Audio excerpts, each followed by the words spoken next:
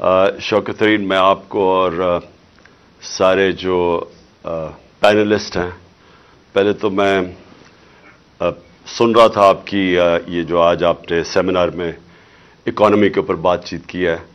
तो पहले तो मैं आप सबको जिस तरह आपने डिफरेंट एस्पेक्ट्स के ऊपर बात की इकोनॉमी की तो मैं आपको खराज तहसीन पेश करता हूँ। देखिए, मैं जो इकोनॉमी के हालात हैं पहले मैं आपको सबको रिमाइंड करवा दूँ कि हम जब 2018 में आए थे तो हालात तब भी बहुत बुरे थे। और जो सबसे बड़ा मसला हमारे सामने था, वो करंट अकाउंट डेफिसिट था। क्योंकि पाकिस्तान फंसता इधर आके है। हमने कभी अपनी एक्सपोर्ट्स के ऊपर ज़ोर नहीं लगाया। हमारे सामने ईस्ट एशियन टाइगर्स बने। चाइना को हमने देखा पिछले तीस साल में आगे बढ़ते हुए। सारों ने बेसिकली वेल्थ क्रिएशन की एक्सपोर्ट्स बढ़ा के। यहाँ तो मैंने कभी किसी को अपनी, मुझे कभी किसी ने नहीं बताया कि जनाब सारे मुल्क को वेल्थ क्रिएशन एक्सपोर्ट एक्सपोर्ट्स को बढ़ाने के लिए सारे मुल्क को तवज्जो देनी चाहिए। क्योंकि अगर आपकी एक्सपोर्ट्स ही नहीं बढ़ेंगी तो ये जो मर्ज़ी आप कर लें, जैसे इकोनॉमी ग्रो करेगी, फंस जाएगा जाके करंट अकाउंट आपका, और वो फिर जब डेफिसिट होता है, फिर वो सारा वो बूम बस साइकिल फिर से शुरू हो जाता है। तो हमारा तब बड़ा था और मुझे याद है कि बड़ी मुश्किलों से हमने पहला एक साल सरवाइव किया। और मुझे अभी भी याद है कि अगर हमें सऊदी अरेबिया यूएई और चाइना हेल्प ना करते तो हमारे पास पैसे नहीं थे अपनी लाइबिलिटीज देने के लिए। तो वो बड़ा टाइमली उन्होंने हमारी मदद की और उसके बाद जैसे हम थोड़ा स्टेबलाइज हो रहे थे तो फिर कोविड 19 आ गई। तो कोरोना का मैं सिर्फ़ आप सबको कहना चाहता हूँ कि वो भी एक बहुत बड़ा क्राइसिस था।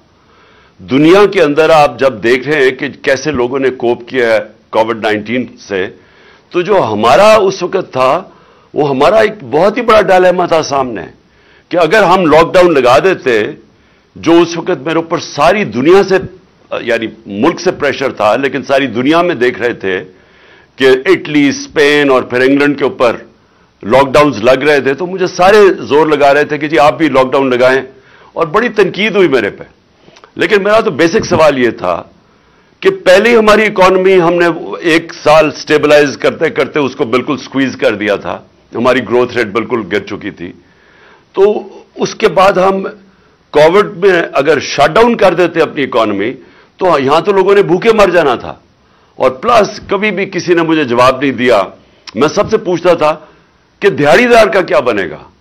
जो पैसा कमा के बच्चों को खिलाता है तो किसी के पास जवाब नहीं था इसका। एनी anyway, वहाँ हमने बड़े बोल्ड फैसले किए।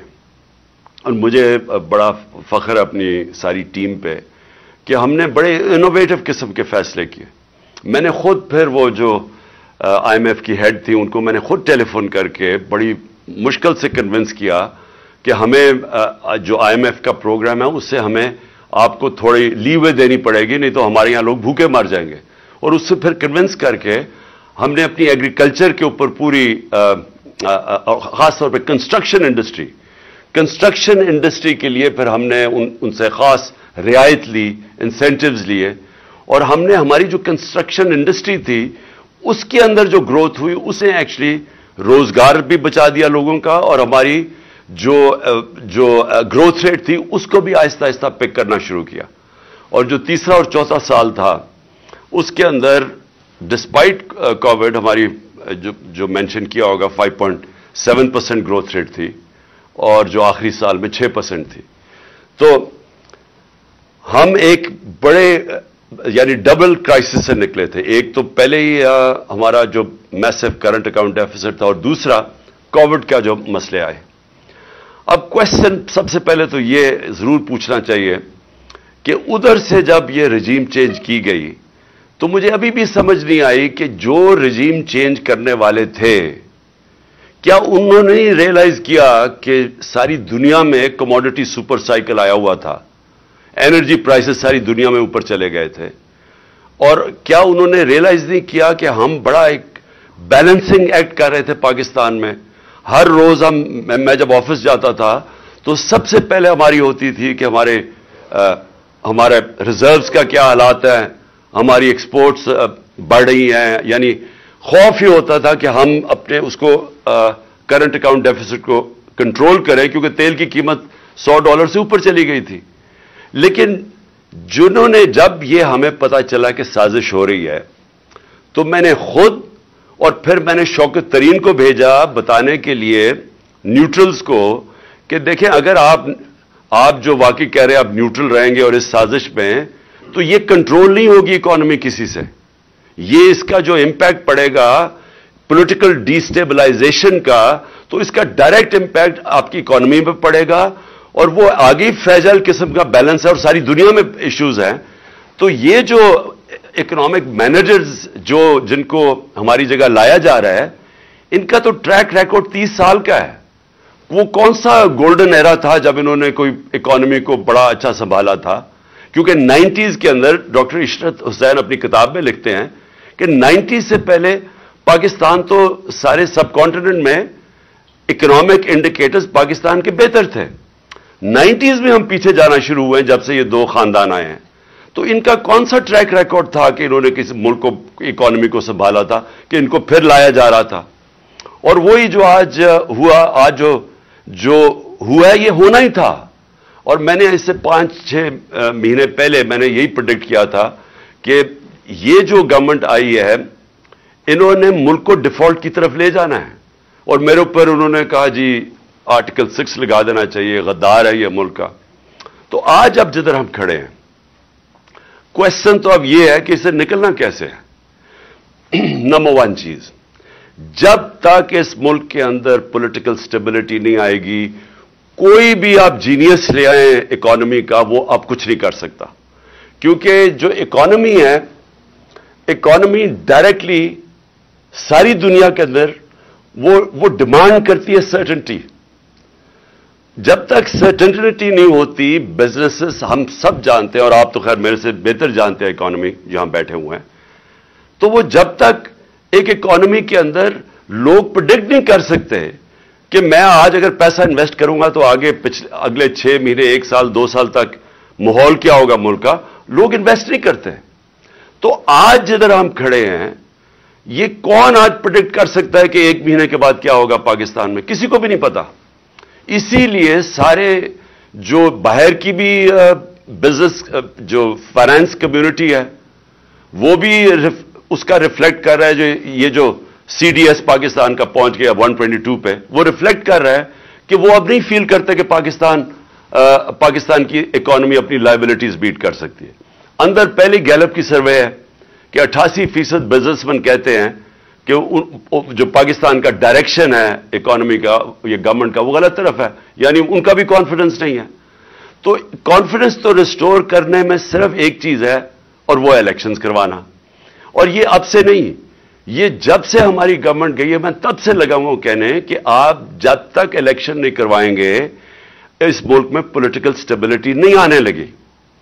और ये हमें कहना, सारे कह रहे जी कि ये जो आप सारी मूवमेंट कर रहे हैं या पॉलिटिकल एक्टिविटी कर रहे हैं, ये कोई वापस पावर आने के लिए कर रहे हैं? पावर में तो हमने आना ही है इंशाला वो तो आप जो हालात ये गवर्नमेंट ने कर दिया है, हमें तो कोई इलेक्शन हमें तो इलेक्शन कैंपेन करने की भी ज़रूरत नहीं है। जो इस वक्त मुल्क का हाल है और जो इकोनॉमी का हाल है, जो महँगाई का हाल है, और जो आज बिज़नेस कम्युनिटी जो शायद समझती थी कि ये ये कुछ कर देंगे, वो सबको अब ये मुतफिक है कि गवर्नमेंट तो अब कुछ नहीं कर सकती। लेकिन, और और जितनी देर चलता जाएगा, हमारी पार्टी गेन कर रही है और वो वाजे है, चाहे बाय इलेक्शन हो, चाहे ओपिनियन पोल्स हो। लेकिन मुझे जो खौफ आ रहा है कि ये पाकिस्तान को उधर ले जाएँगे, जिधर ये सबके हाथ से बाहर निकल जाएगा।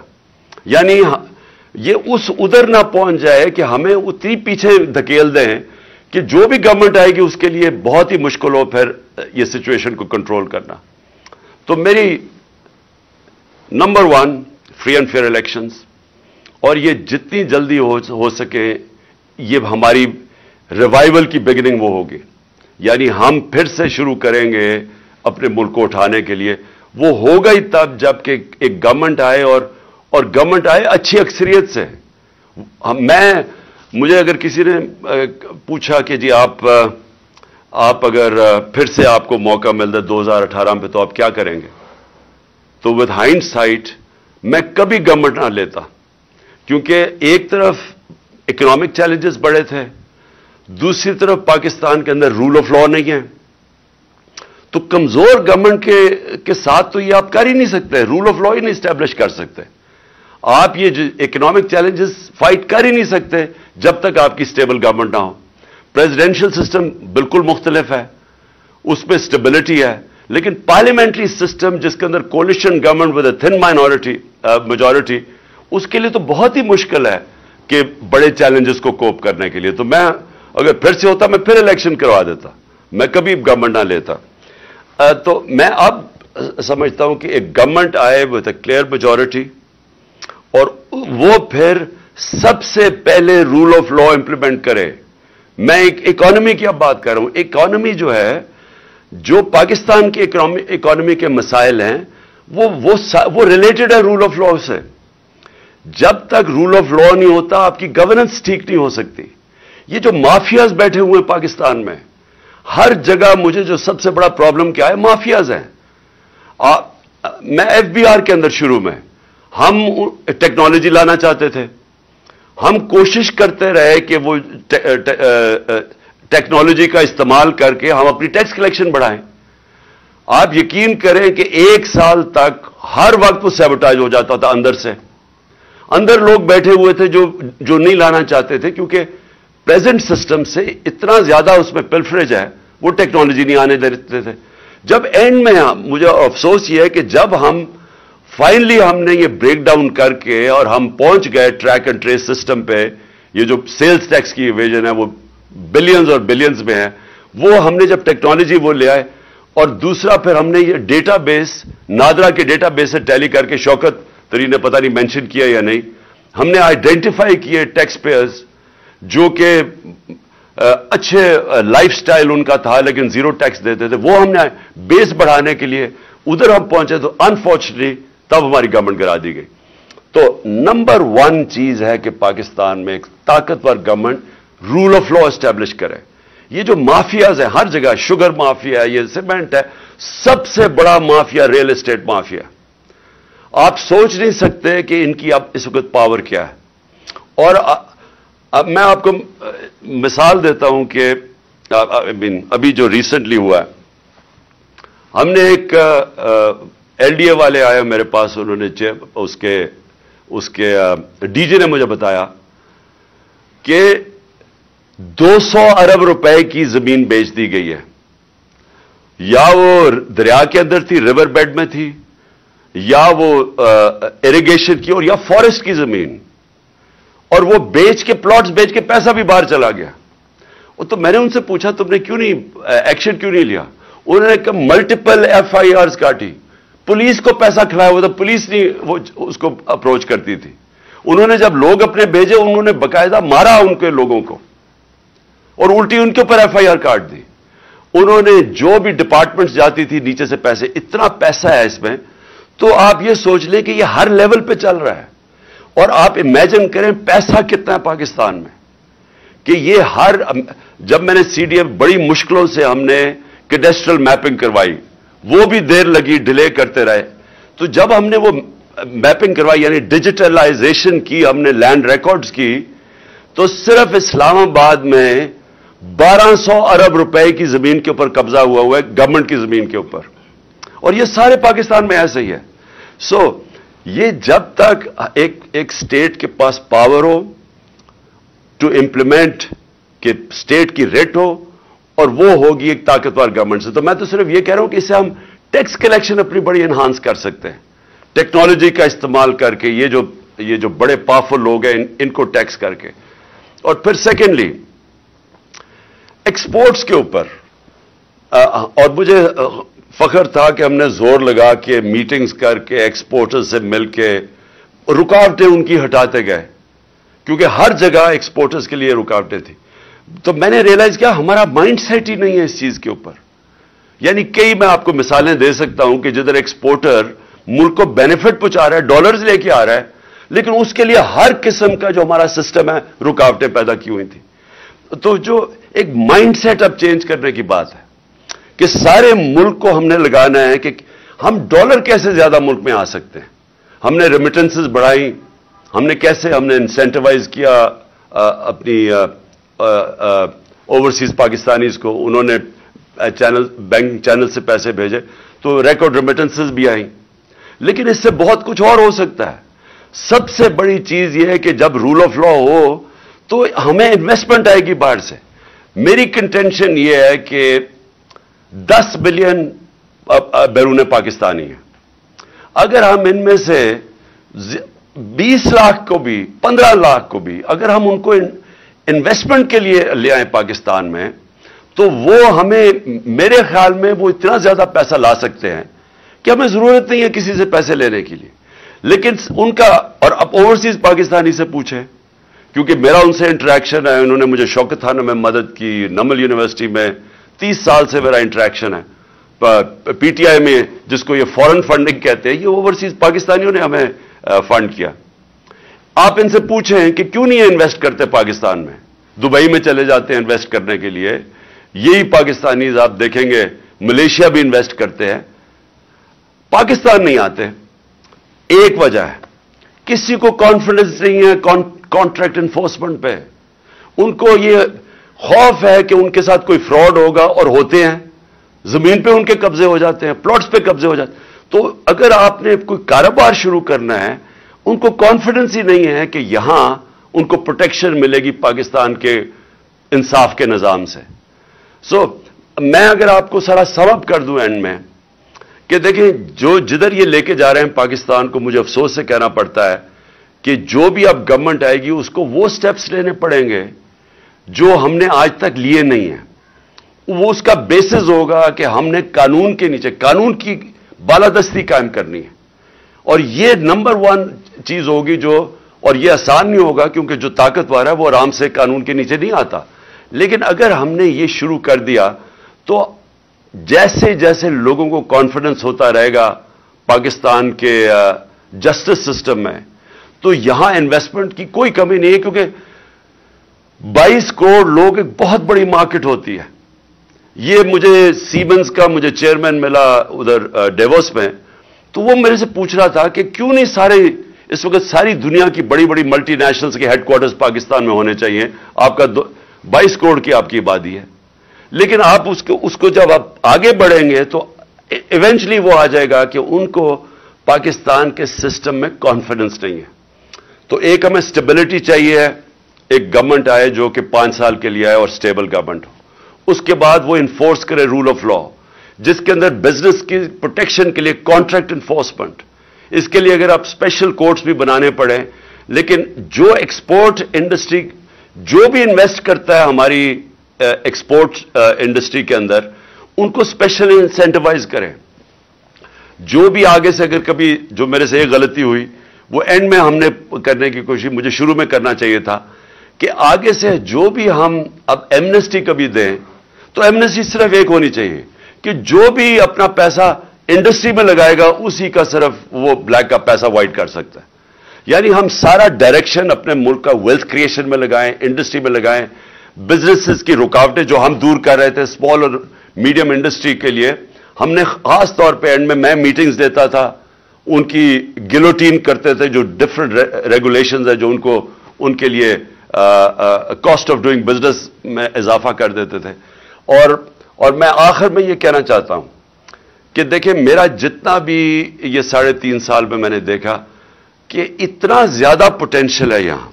नंबर वन टूरिज़्म जितना टूरिज़्म के अंदर, क्योंकि मैं अनफॉर्चुनेटली कोविड के दो साल आ गए जिसमें दुनिया में टूरिज़्म इफ़ेक्ट हुई। लेकिन मैं आपको यह बता रहा हूँ कि पाकिस्तान में ऐसी ऐसी जगह हैं और हमने एक पूरा प्लान भी किया हुआ है एक स्कर्दू के अंदर एक एक जगह कि पूरी रिजॉर्ट बने, क्योंकि वो ऐसी ऐसी जगह हमारी। ऑस्ट्रिया से मेरे पास टूरिज़्म के लोग आए, उन्होंने कहा कि Pakistan could become the next skiing centre in the world क्योंकि वो ग्लोबल वार्मिंग से बर्फें पिघलती हैं जल्दी यूरोप के अंदर तो पाकिस्तान की हाइट इतनी ज़्यादा। सो टूरिज़्म एक है, हर किस्म की रिलीजियस टूरिज़्म है, वो सारा हमारा जो कोस्ट लाइन है, वो सारी वर्जन टेरिटरी है, और माउंटेन टूरिज़्म और और और तीसरी चीज़ कि, पाकिस्तान के अंदर जो हमने कभी ज़ोर नहीं लगाया कनेक्टिविटी का, वो हम एंड में कोशिश कर रहे थे। सारा सेंट्रल एशिया इस वक्त पाकिस्तान के लिए और अफ़गानिस्तान में अगर स्टेबिलिटी जो अब आ रही है तो हमारे लिए वो सारा एक एरिया वो भी वर्जन टेरिटरी है। उसके अंदर भी इतना ज़्यादा पोटेंशियल है जो हमने हमने एंड में जाके कोशिश की थी एक्सप्लोर करने की। और आखिर में ये जो हमारा इस वक्त क्राइसिस है, ये एनर्जी का मैं फर्म बिलीवर हूँ कि हमें हमें आते साथ ही हमें रशियन ऑयल लेना चाहिए था।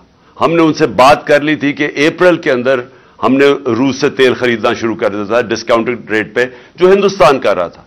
और ये इतने खौफजदा होते हैं अमेरिकन से। ये रियलाइज़ नहीं करते कि इंडिया हमारे सामने इंडिया ने स्टैंड लिया। उन्होंने पूरी ज़ोर लगाया कि इंडिया रूस का तेल ना ले। आपने, आपके सामने है। वो जो इंडियन फॉरेन मिनिस्टर ने कितनी अपने मुल्क के लिए वो खड़ा हुआ। यानी वो और वो अमेरिकन अंडरस्टैंड करते हैं चीज़। हमारा इस वक्त तकरीबन 10 करोड़ लोग हैं जो वनरेबल हैं। पाँच करोड़ लोग हमारी गुर्बत से लकीर से नीचे हैं। पाँच करोड़ लोग ऊपर इतने हैं कि अगर प्राइस शॉक आता है वो नीचे चले जाते हैं। तो इस वक्त जो सबसे बड़ा प्रॉब्लम है ये जो आ, आ, ये जो एनर्जी ड्रिवन इन्फ्लेशन है। तो हमें तो इसके ऊपर पूरा अपना उनको और मैं बिलीव करता हूँ कि हम कन्विंस कर सकते थे अमेरिकन को। हम कन्विंस कर सकते थे कि हमें सस्ता तेल आने दो।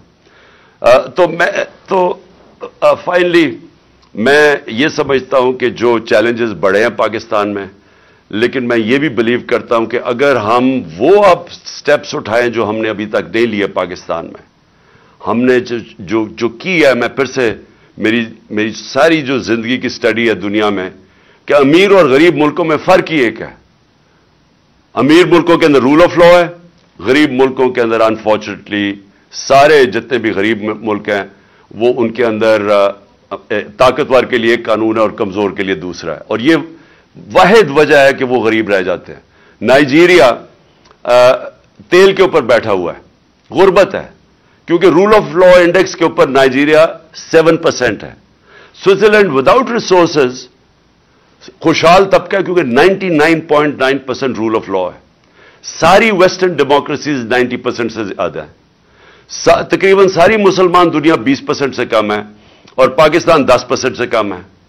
तो जब तक ये जो असल इशू है खुशहाली आती है रूल ऑफ़ लॉ के बाद। इंसाफ होता है तो खुशहाली आती है। ये जो कि दुनिया के एक्सपीरियंस में साबित हो गया।